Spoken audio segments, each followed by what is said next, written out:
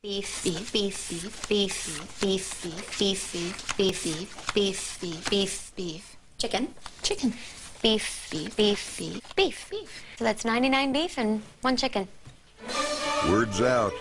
The taste you love is also a good source of things you need, like iron, zinc, protein, and some B vitamins. Beef. It's what's for dinner tonight. From the Everyday Citizen website, the truth about corn fed beef. Feeding corn to cattle is simply put unnatural, and yet most of the store bought and restaurant consumed beef in the U.S. is corn fed. While corn is a cheaper feed and can ready a cow for slaughter much more quickly than a dainty diet of grass, it's pretty awful for the animal. Apart from the corn problem, there's the issue of confined animal feeding operations, where cattle are raised in deplorable conditions, including being jammed together and standing in their own feces.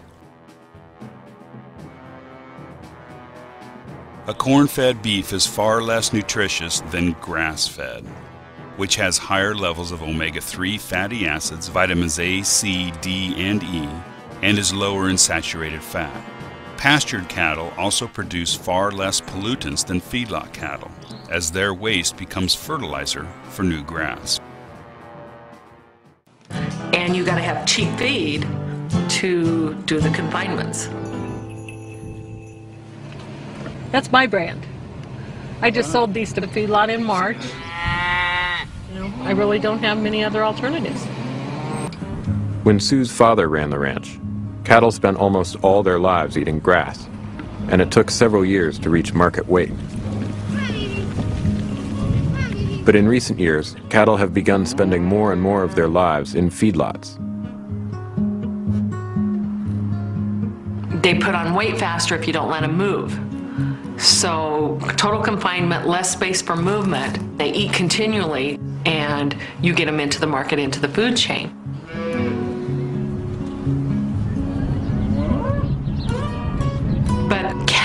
Not meant to be on a corn fed diet for that long. And we used to feed them 60, 90 days was one thing. Up to 120, you could make it. You start really pushing cattle on a corn based diet after that, the ulcers and the stomachs don't, don't take it well, and they start getting sick.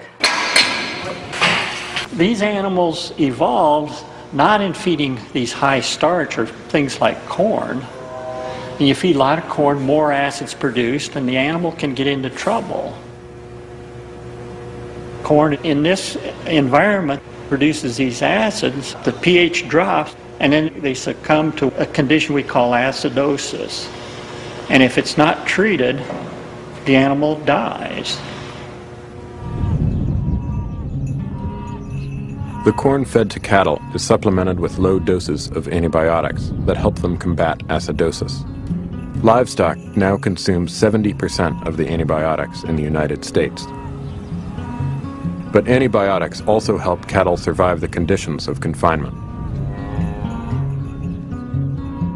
This facility, with more than 100,000 head of cattle, produces as much waste as a city of 1.7 million people. A lot of people look at these large feedlots now and, and question whether that's what we should be doing. But, but the reason that it's done, it's all it's economic. If you were born in the last 30 years in America, chances are you've only ever tasted corn-fed beef.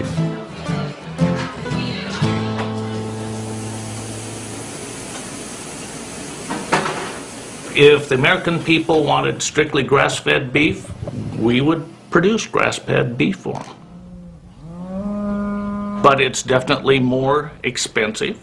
And one of the tenets in America is America wants and demands cheap food. The rising price of corn has forced ranchers to look for ways to cut costs. For industrial scale farmers, that means feeding cattle with cheaper recipes. That's uh, corn silage, high moisture corn, which is uh, the yellow kernels you see, and then we feed some byproducts, potato chips, uh, and a chocolate blend, um, which is uh, has some cocoa shells. Uh, uh, you see some M&Ms with it. Um, it's it's a it's a byproduct from Hershey and M.M. Feeding cows a diet of fast food is just the beginning. The funny thing about this is that cows aren't naturally corn-eating animals. Never mind corn mixed with M&Ms and potato chips. Here, girls. Cows naturally feed off of grass. And 150 miles north of the Nisley Ranch, Ron Kipps raises his cattle in exactly this way. We do what they call rotational grazing. Because raising grass-fed cows for mass consumption is considered inefficient. For the number of cattle that we're feeding, we couldn't grass feed cattle here. We can get more off an acre by growing crops, corn and soybeans and small grain than we could by putting cattle on. For one thing, grass-fed cows take longer to reach market weight. They also require much larger parcels of land for grazing. And on Ron's grass farm, there's only enough land for 100 cattle. To make a profit, he has to charge about 30% more than the Nisley brothers. But there are benefits to grass-fed beef. Studies show that grass-fed cattle are richer in vitamins and omega-3 fatty acids compared to conventionally raised beef. And there is no need for petroleum-based fertilizer to grow the corn feed. Cows have their own special way of fertilizing the land. And then there's the taste issue. Because of the abundance of corn-fed cattle, most Americans are used to beef that has a high fat content.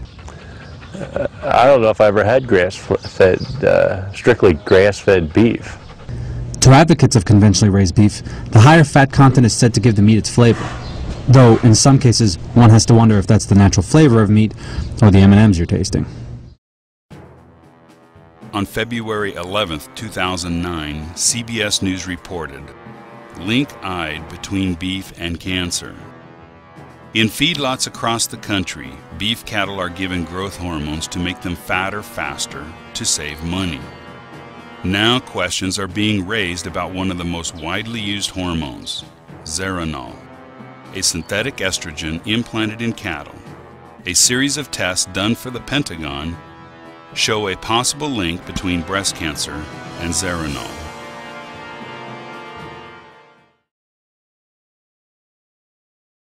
New evidence again of the Food and Drug Administration's failure to protect American consumers from dangerous products. For months now, the FDA has insisted that uh, bisphenol A, it's a chemical found in plastic items, BPA, is safe. Now, a scathing new report reveals that the FDA ignored important critical evidence of BPA's dangers. Not only should we be concerned about what is in our foods, we also need to be concerned about what is on the outside of our foods.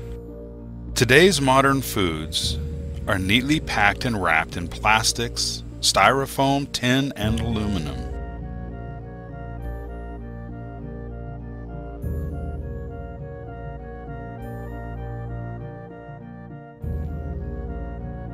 On March 30th, 2011, Discovery News reported food packaging harbors harmful chemicals.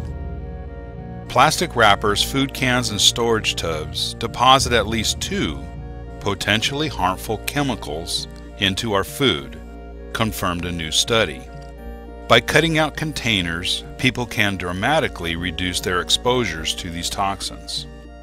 The chemicals, bisphenol A, or BPA, and a phthalate called DEHP are known to disrupt hormonal systems in the bodies of both animals and people, leading to developmental and reproductive problems as well as cancers, heart disease, and brain disorders.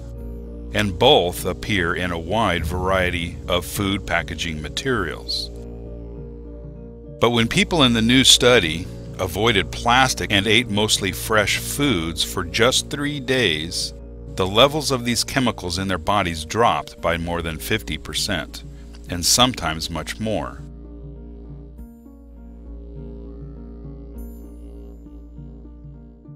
On November 8, 2010, Discovery News reported Canned Food Alert.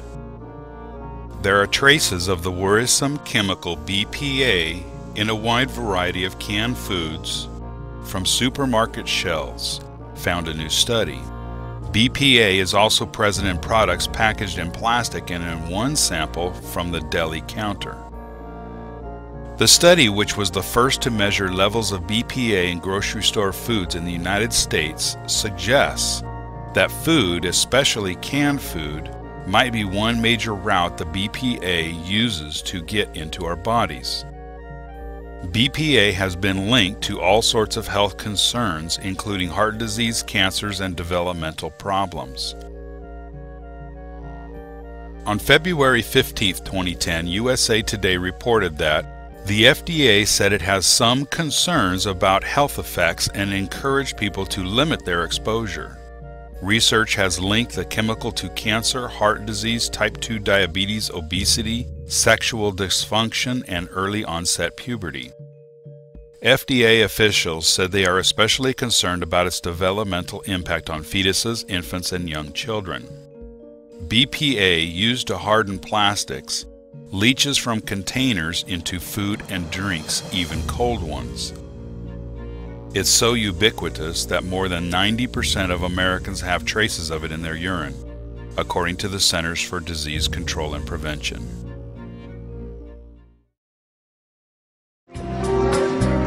To eat well in this country costs more than to eat badly.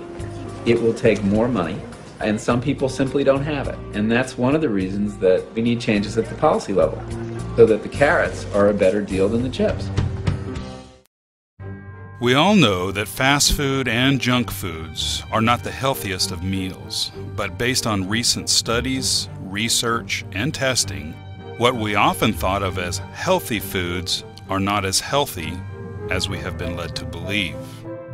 The food processing manufacturers appear to be more concerned with profits than the health and well being of their customers. And the Food and Drug Administration appears to be more concerned with the interests of the manufacturers than the American people. Because the manufacturers and the government ignore our concerns, it is going to be our responsibility to take charge of our nutrition and well being. Our grandparents and their parents before them had one primary objective the production and preservation of food. Every aspect of life revolved around this one goal. Today, however, our focus is on the television, sports, games, or hobbies, and food has been relegated to an afterthought there are a few alternatives to the chemically laden foods available at your local supermarket. You can buy organic, which unfortunately, because of the current economics of food production, is more expensive. Or you can grow and raise your own food, which is time consuming and hard work. But you have to ask yourself is it worth improving the health of my family? If your diet and health is important to you, you will want to watch these eye opening and heart stopping documentaries on the truth about the foods we buy and eat every day.